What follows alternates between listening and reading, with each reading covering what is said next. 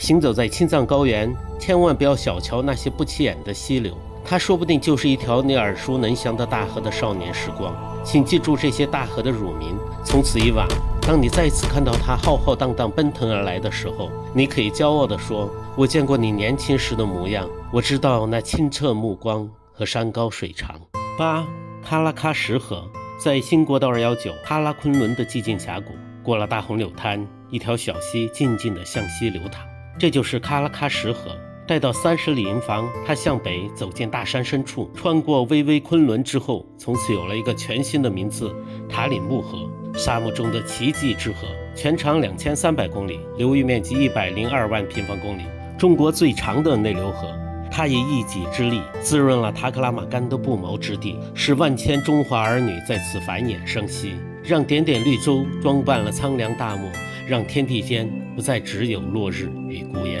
七。森格藏布在国道三幺七南侧，森格藏布与格吉湿地几乎融为一体。这条由神山冈仁波齐北路发源的河流，在缓缓流过阿里的苍茫大地之后，从喜马拉雅和卡罗昆仑之间一路西去，穿过克什米尔，进入巴基斯坦宽阔的平原，最后注入阿拉伯海。此刻，它叫印度河。全长两千九百公里，流域面积一百一十六万平方公里。印度河的重要性就像尼罗河之于埃及，幼发拉底和底格里斯河之于巴比伦，长江、黄河之于中国。这里是古印度文明的发源地。对你没听错，印度古文明发源于巴基斯坦。印度河是两亿巴铁的母亲河。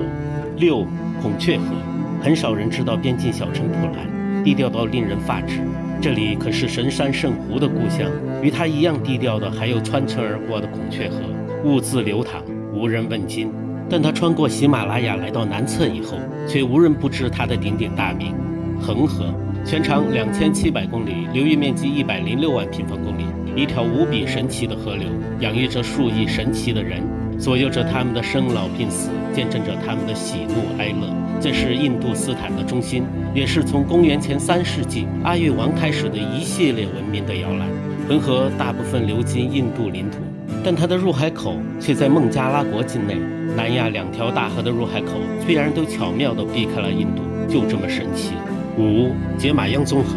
站在二幺九国道的帕扬沙丘旁，远处的喜马拉雅激动人心，近处的杰马央宗河安安静静，波澜不惊。几百公里之后，它的名字将举世闻名——雅鲁藏布江，全长两千九百公里，流域面积六十一点七万平方公里。它将穿行于高山峡谷之中，在南迦巴瓦和加拉白垒的护佑下，由东北向西南近一百八十度的金氏大拐弯，切开喜马拉雅，一路向南，在墨脱县的巴西卡进入印度的平原，改称布拉马普特拉河，最后在孟加拉国以贾木纳河的名字进入壮丽的大河三角洲，然后没了名字，悄无声息地从若干水道进入孟加拉湾，真是轻轻的来去，不带走一片云彩。四纳曲河，青藏列车经过唐古拉山不久，你将看到一个美丽的湖泊——错那湖。之后，一条溪流一直相伴，那就是纳曲河。然后，它在大山中时隐时现，直到过了嘉峪桥，进入他念他翁和博舒拉岭山脉之间的峡谷，从此有了一个全新的名字——怒江。之后一直奔腾向南一千多公里，都在高山深谷中穿行，比世界第一的雅鲁藏布大峡谷和世界第二的科罗拉多大峡谷加起来都长。不明白为什么从来没人给它世界第一长峡谷的定义。它从云南德宏流出国境，进入缅甸后改称萨尔温江，最后流入印度洋的安达曼海，全长三千二百四十公里，总流域面积三十二点五万平方公里。三扎曲。在国道二幺四的高原河谷，我们将在朗谦县第一次遇见扎曲。它蜿蜒绕过小城，向东流去，如同朗谦县悬崖上的噶尔寺一样，比自珠寺更加的巍峨险峻，但是没有任何名气。直到过了昌都，它化身为澜沧江，我们才恍然大悟，原来我们遇见的并不是一个无名之辈，而是一个传奇。它在云南流出国境，改名湄公河，经缅甸、老挝、泰国、柬埔寨。在越南胡志明市注入南中国海，全长四千八百八十公里，流域面积八十一万平方公里，东南亚最大的国际河流。它与怒江曾经一路相伴了几百公里，但是他年他翁山脉将它们无情地隔开。还好挺争气，都成了传奇。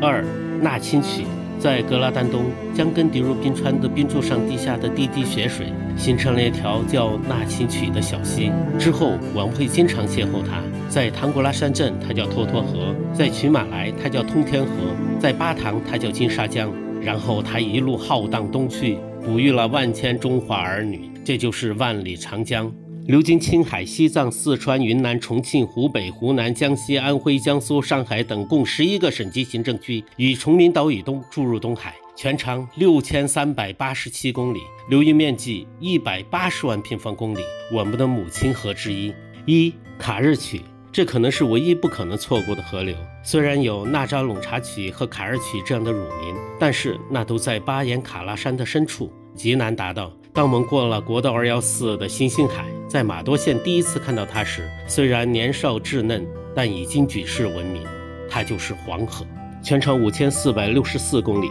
流域面积八十万平方公里，自西向东流经青海、四川、甘肃、宁夏、内蒙古、陕西、山西、河南及山东九个省级行政区，最后流入渤海。黄河是中华文明最主要的发源地，中华民族的母亲河。在世界各地，大都还处在蒙昧状态的时候，我们勤劳勇敢的祖先就在这块广阔的土地上斩荆棘、劈天地，生生不息，创造出了灿烂的中华文明，延续至今，全世界唯一的传奇。在青藏高原，你会偶遇这些大河最纯真的模样，希望你不要错过，因为千山万水的不易，有时一别，真的就是天涯。